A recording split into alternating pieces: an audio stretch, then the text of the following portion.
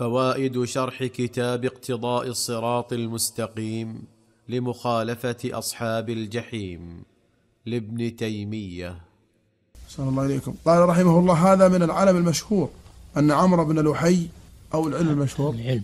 هذا من العلم المشهور أن عمرو بن لحي هو أول من نصب الأنصاب حول البيت. الأنصاب يعني الأصنام. نعم. ويقال إنه جلبها من البلقاء من أرض الشام متشبها بأهل البلقاء.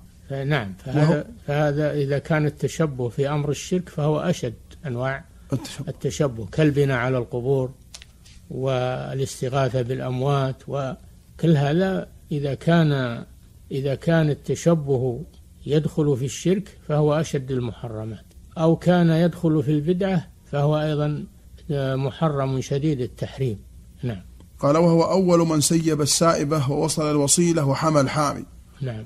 فأخبر النبي صلى الله عليه وسلم أنه رآه يجر قصبه في النار وهي الأمعاء في ذلك موعظة لكل مسلم أن يتقيد بشرع الله وأن لا ينخدع بأنظمة الكفار وما عليه الكفار لأن ديننا ولله الحمد دين كامل لكن يحتاج إلى تنفيذ نعم. يحتاج أولا إلى إلى معرفة وتعلم ثم يحتاج إلى تنفيذ فإذا نفذ على على علم وعلى بصيرة فإنه فإنه لا يضاهيه أي أي نظام وأي شرع شرع. حتى الشرائع السابقة لا تضاهيه.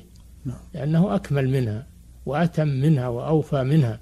الله جل وعلا يقول اليوم أكملت لكم دينكم وأتممت عليكم نعمتي ورضيت لكم الإسلام دينا.